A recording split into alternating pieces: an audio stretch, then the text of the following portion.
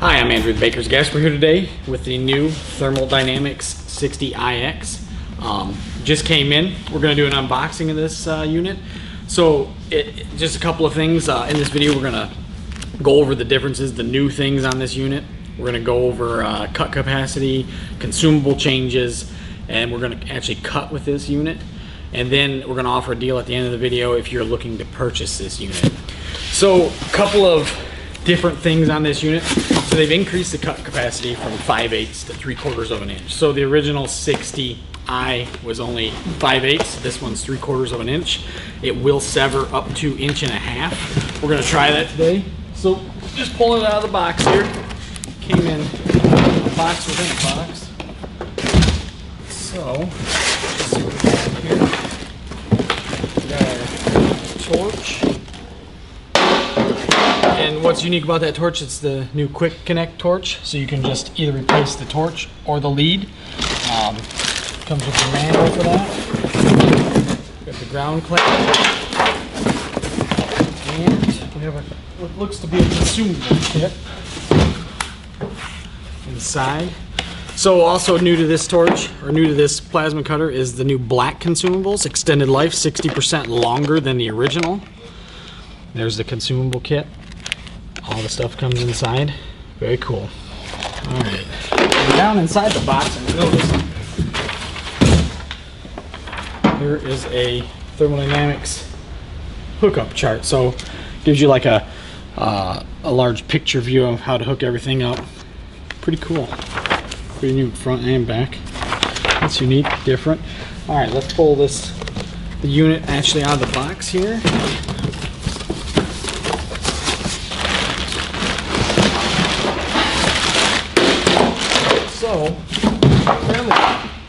Light, not too bad coming out of.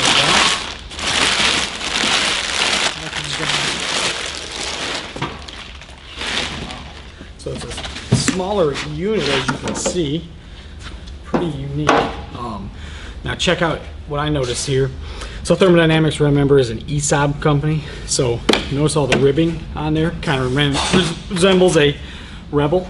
But before we dive into the machine, I got it all hooked up, plugged in. We'll turn it on here just to show you the front interface. But on this kit, so what I was talking about in that comes with a with a uh, consumable kit.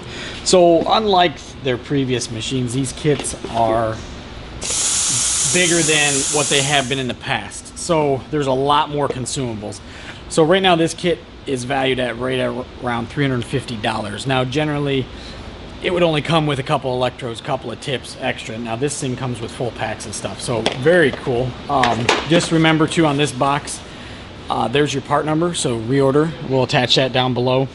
Uh, and it, this is the Black Series consumable tips. So inside this, we got an extended uh, life shield and heat shield. So for me today, I, I, got this drag shield cap.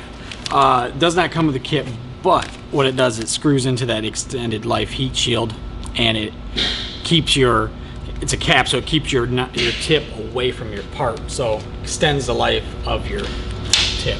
Pretty cool. Pretty cool stuff. Um, also in this kit, we have a the uh, shield cap for gouging. So this thing comes with a set of gouging consumables. Also gouging nozzle there. It also has three 60 amp standoff in the bag here for the uh, replacement parts. I'm trying to show them off here. Three of them in there. It has three drag nozzles also in the kit. Let's see what else.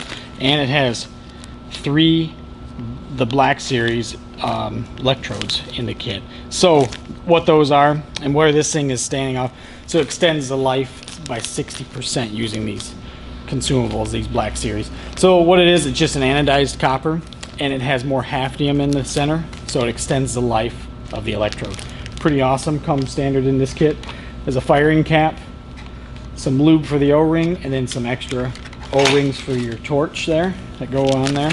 So if you're not familiar with what um, the O-rings are and all that, we'll break down the torch for you. So generally people don't know why it comes with lube and O-rings. So on the back of this torch here, I'll get the I say back, there's a little O-ring. So every time you change out consumables, you should put a dab of lube on there and just run it around there and then screw that back on. It just helps extend the life of that, that uh, the thread pattern and the O-ring. All right, so I got the torch hooked up and everything. We went through the consumables. Let's go over the power up on this unit. So on the back side of this unit, I got air, power. It's got a breaker style switch, so you just flip it to the right. It's got a water separator on the back for the air. We'll go around to the front. So it's running through its setup. It's telling you what voltage we're hooked up to. That's the software that it's running. And then it's gonna test for air pressure, as you can see, just to make sure that we have good air pressure, which we do. So everything's in the green. All right, so we have 60 amps. It goes all the way down to 10 amps for those people that want to do fine cutting, finesse cutting, artwork, stuff like that, sheet metal. Um, they do sell, we do have consumables online. Uh, down below in the drop box for 20 amp consumables. So to go through the thing, so on this thing there's a little pictorial here, a torch, and it's showing these uh, these dots in a line. So what this is saying is we're severing metal. So this is two pieces of steel and see how the middle bar is not green? So it's showing like we're making a cut. We go to the the lock lit up. So what that's going to do is a trigger lock. So we pull the trigger once locks the trigger and we can cut with it and then it goes you click the trigger to go off. Next one is for expanded metal so grading and that kind of thing so see how there's intermittent dots it's just giving you a pictorial of what expanded metal would be so this torch will work on that this is gouging. You can see we're, we're gouging out a weld there in that little pictorial. Pretty cool, pretty easy to see. And then this is the air test situation. So you can manually set your air pressure, but in the green is where you want to be. There we go. And then also, we there's a 20 foot, this is a 20 foot torch. They make a kit with a 50 foot torch. So it gives you the what torch you're running at SL60 and then if you add a length to your lead you want to add one so that's showing you that you're adding a length to your lead and then you move your air pressure into the green and then you're all set so this thing will run an uh, SL60 torch and an SL100 torch so if you have an SL100 you can plug it into this thing pretty cool it's got a quick connect ground clamp everything plugs right in. It's it's uh, pretty clear cut on the thing. So we got we're gonna cut some metal now. Um, as you can see, I got a series. So we got some thick steel, we got some stainless, we got some aluminum. Um, we're gonna try and gouge a weld. We're gonna cut some stuff. So let me get my gear on. We'll give this thing a shot. So before we dive in right in the cut, I got the gear on. I'm gonna show you something here. So remember, this is a quick attach torch, but look.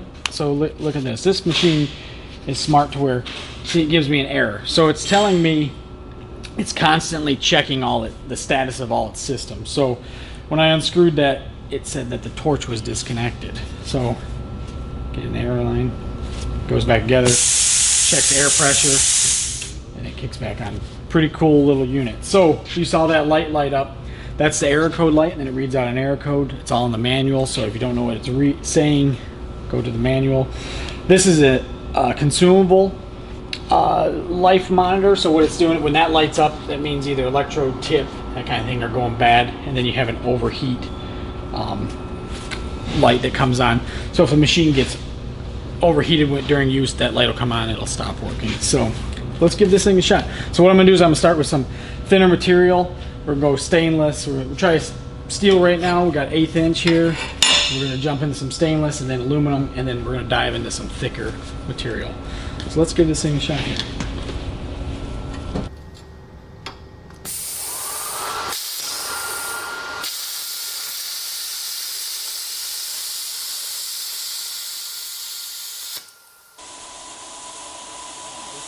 nice clean cut. A little bit shaky, that was me. That was me on the start too on that first one. They're pretty full. Let's try we're to jump into some eighth inch stainless steel here.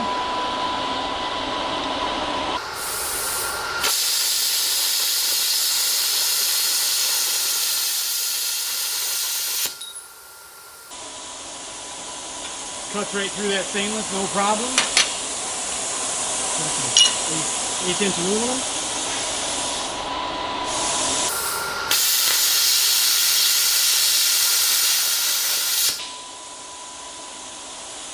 Through that like butter. Yeah, that's pretty. That's pretty cool. So we just ran steel, stainless steel, aluminum. Uh, that's just a standoff tip. Pretty cool. Now, if you notice my, I had a little bit extended arc length on that. So that's a, a new feature to this machine. You can have a little bit higher standoff and it still cuts through it. All right, so let's jump right up. Now this machine, like I said, is rated for three, three quarter of an inch. It'll sever up to an inch and a half. I've got to put a piece of one inch here. Let's see how it does.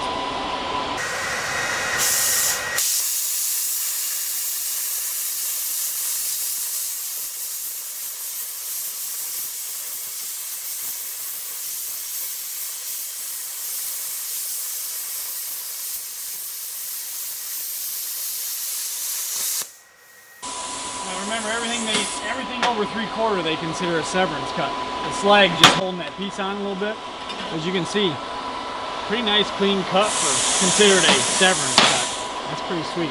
All right, we're gonna try this machine out now on one and a half inch. So this this machine, like I said, is rated for three quarter, but it says it'll sever one and a half inch. So I have a piece of one inch and a piece of half inch.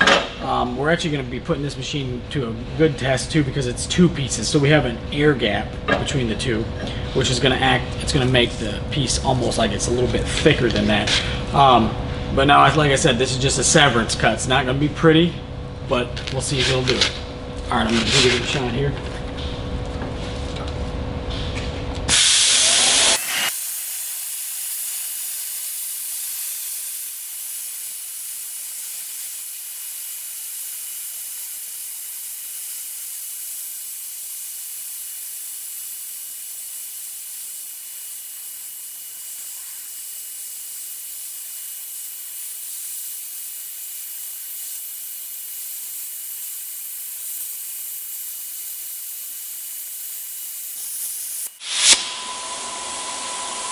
All right, saw the severance cut there.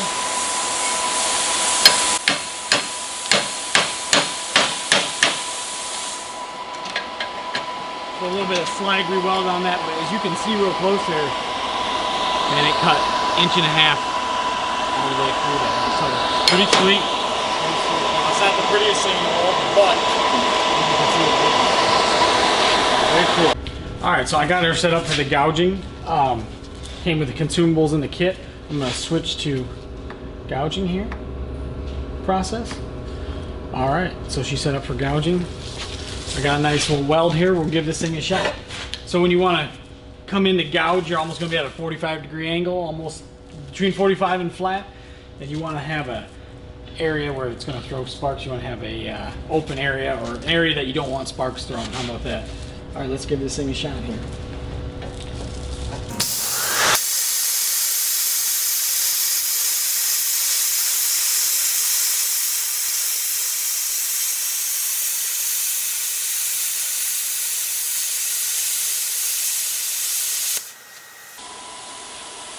Pretty amazing how, how well that thing gouged.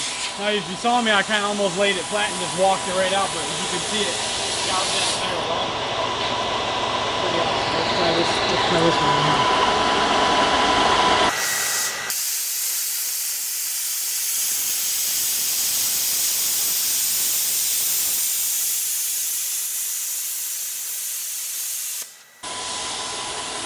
Yeah, that works really well.